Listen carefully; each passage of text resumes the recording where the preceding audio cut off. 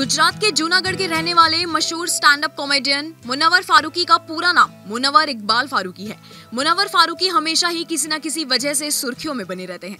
लेकिन इस बार वह कुछ ऐसा करने वाले हैं जो देखने के लिए हर कोई बेताब है। दरअसल जब से ये खबर सामने आई है कि मुनवर फारूकी कंगना रनौत के शो लॉकअप में बतौर कंटेस्टेंट नज़र आने वाले हैं, तब से ही सोशल मीडिया यूज़र्स ये बोलने लगे हैं कि शो में ज़बरदस्त मसाला देखने को मिलने वाला है। मुनवर फारूकी कई बार सोशल मीडिया पर कंगना रनौत के खिलाफ ट्वीट कर चुके हैं, जिसमें वो मज़ाक मज़ाक में कंगना को भला बुरा भी कह देते हैं। आगे का वीडियो देखने से पहले हमारा चैनल एन एन बॉलीवुड, अगर आपने सब्सक्राइब नहीं किया है तो अभी ही कर ले। इसके साथ ही आपको यहाँ दिख रही घंटी भी बजानी है, ताकि जब भी कोई नई वीडियो आए तो आपको तुरंत नोटिफिकेशन मिले।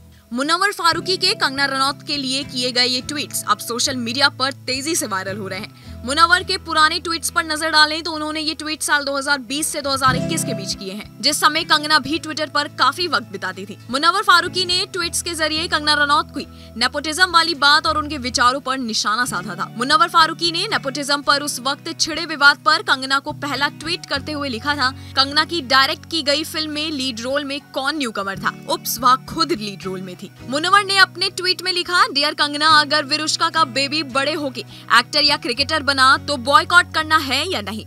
मुनवर ने अगले में लिखा CBI for reach JCB for Kangana.